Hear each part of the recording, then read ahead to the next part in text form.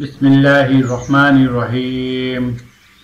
শুরু করছি আল্লাহর নামে, যিনি পরম করুণাময় ও অতি দয়ালু।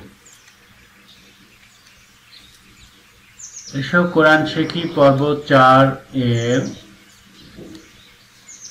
আজকের বিষয় হচ্ছে বা হরফের পরিচিতি। বা আরবি হরফের কততম হরফ? বা হরফের উপরে বা নিচে নুকটা আছে কি? বা বানান করতে আরবি কতটি হরফ লাগে? বা হরফটি আল কোরআনে কতবার এসেছে? বা হরফটি শব্দের প্রথমে, মাঝে ও শেষে বসলে কেমন দেখায়? উদাহরণ সহ তো চলুন শুরু করা যাক। বা হরফের পরিচিতি। বা আরবি হরফের কততম হরফ? বা আরবি হরফের দ্বিতীয় হরফ।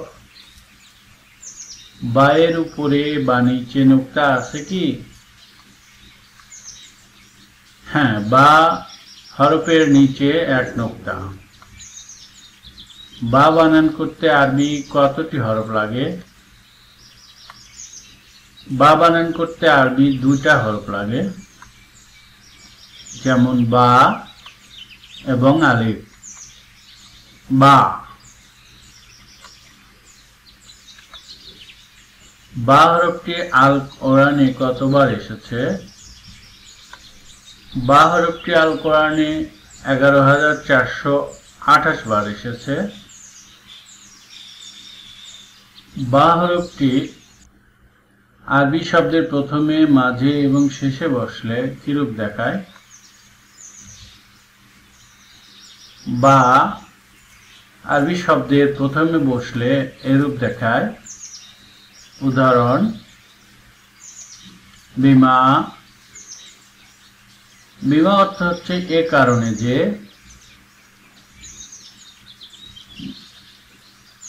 বুকমুন বুকমুন অর্থ বোবা বারকুন বারকুন অর্থ বিদ্যুৎ চমক।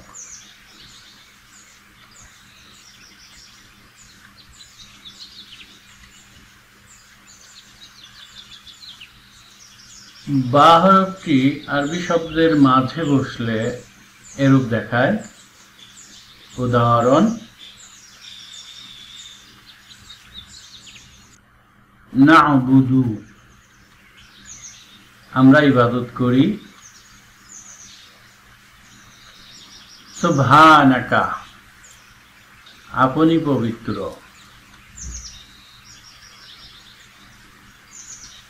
তাবা অনুসরণ করুন।